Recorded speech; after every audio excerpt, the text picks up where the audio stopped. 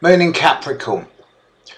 The moon doesn't get a good reputation in Capricorn, but it's a bit undeserved actually.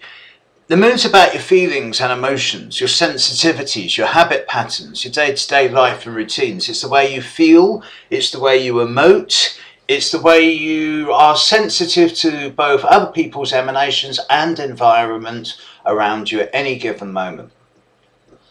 Because Capricorn is so concerned with words like structure and order and shape and form, and to a lesser extent, the, the patterns of its, of its main planet, Saturn, the element of discipline, the moon can sometimes feel uncomfortable in Capricorn because the moon just wants to go with the flow, to ebb and flow, to feel, to sense, to intuit, whereas Capricorn does insist to a certain degree on boundaries it's often said about people with the moon in Capricorn that they're not very good at being outgoing or, or demonstrative at the emotional level. And there is an element of truth to this. It's not that they're shy or inhibited, it's just that Capricorn's fairly at times rigid structure can act as a, an imposition or a hindrance to emotional expression. These are the people who won't tell you how they really feel about you until they've known you a long time and until they've established clear boundaries around privacy. At the same time, people with the moon in Capricorn are going to be much more dependable, loyal, structured, disciplined, trustworthy.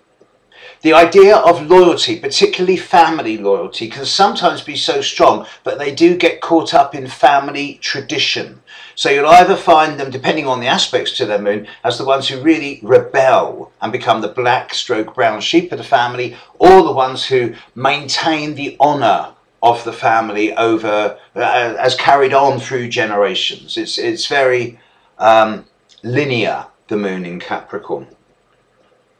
It's not a bad position. Traditionally, the moon is in detriment in Capricorn. It's, it's opposite its ruling sign of Cancer. So yes, it's not the easiest position, but there are worse positions for the moon than Capricorn, I assure you. At least Capricorn gives you a degree of emotional structure, even if it's not the most expressive.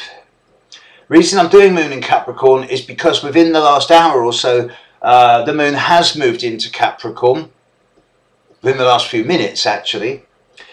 And over the coming two and a half days, we're going to see a lot more in the news and in our own individual feelings around words like loyalty, duty, emotional responsibility, emotional structure. The fact that the moon is actually, whilst in Capricorn, going to be passing over Pluto in about 14 to 16 hours time from now, about 3, 4 a.m. Uh, um, tomorrow at UK time on the 17th, does suggest to me that today is going to be a day of shouting. But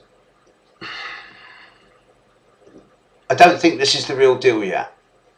The moon in Capricorn will keep things in a state which, which says that, don't worry, we'll act with, um, we'll, we'll act with transparency and discipline because that's what the moon in Capricorn is best at. Transparency and discipline.